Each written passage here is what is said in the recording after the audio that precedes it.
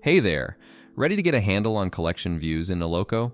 Let's dive right in and see how these tools can make managing your data a breeze. Part 1 Introduction to Noloco and Collection Views.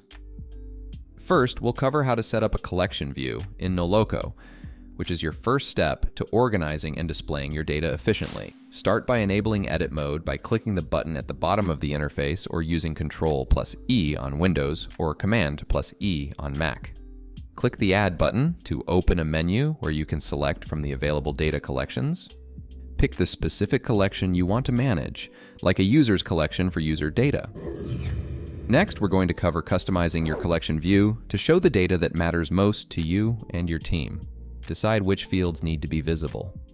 In the Settings panel on the right, drag and drop to reorder fields, placing the most important ones like progress at the forefront. Implement filters to display only relevant data, such as showing only in stock products.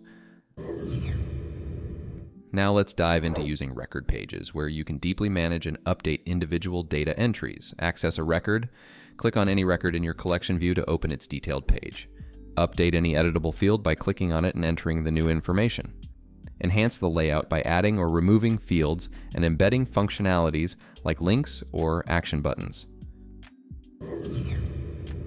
Lastly, we're going to cover using forms to efficiently add new records, ensuring your data stays up to date and consistent. From the collection view, locate and click Create a Deliverable button or whatever is appropriate for your collection.